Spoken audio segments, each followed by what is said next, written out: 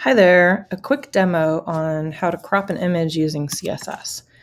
So I've got um, just a placeholder image here, and I, I've put it in a div. So the div is going to sort of be the, the cropping tool in this case.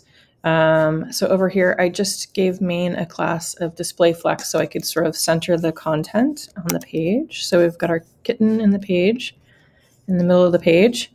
And let's style that div. So I gave it a class called square. I'm going to give it a width of 400 pixels and a height of, of 400 pixels. If you go look at it, it doesn't look like it's doing anything. It's shifted on the page, but if I hover over the square, you'll see that it just wants to be 400 by 400, but the cat is still showing outside of that box.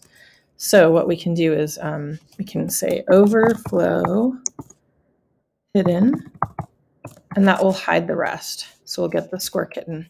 Now there's some nuances to this. Um, right now I have a 600 by 400 kitten, but what if I have like an 800 by 700 kitten? I'm going to end up getting a cropped picture.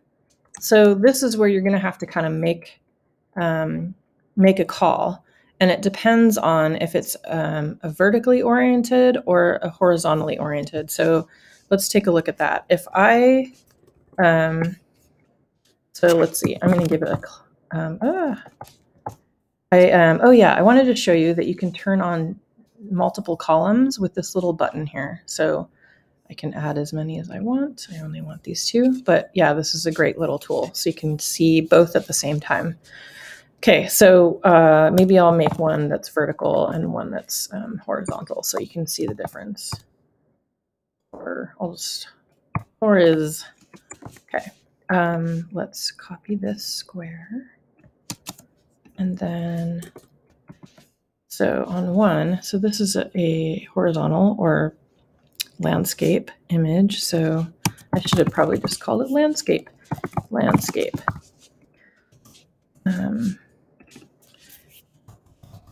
I am not awake yet. And then this one I'm going to call um, vertical. Eesh. Image. So this is on the image, not the div. So the div stays the same, depending, but the, um, the image class has to change. Okay, so this one, um, the one that I have, 800 by 17 or 700, is vertical, is horizontal, and so I want to give the favor to the um, to the height because um, what I'm really cropping here is the width, um, and I'll show you what I mean by that. So for horizontal, I'm going to say um, make it a width, or sorry, make it a height of 100%. So I want it to take up 100% the height of that box. So let's look at that. That's the second one. And you can see that the cat seems pretty well centered in there. And if I mouse over that one, um, it looks like it's fitting pretty well. Um, and I haven't changed the orientation. So let's just see what happens if we give this one a width instead of a height width of 100%. So I, this one should be horizontal, but it's vertical. So what's happening here is that it's not 400 pixels high when I inspect this, the box is 400 pixels. See that? But the um, it's it's favoring the width, so it's giving it it's it's fitting the image into that hundred percent width, which is 400. But then it's kind of shrinking the image to fit um, to fit that width. Um, so what I want is I want to change. So for this top image, let's make it um, 600 by 700. So now the, the, the height is kind of um, bigger than the width. And then now we get a better centered image.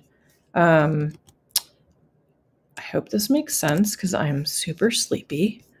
But um, I guess the best tool is to play around with it a bit and just sort of see um, see what makes sense. But basically, you're you're shrinking and expanding it to crop outside the box and you want to make sure that it's filling the box.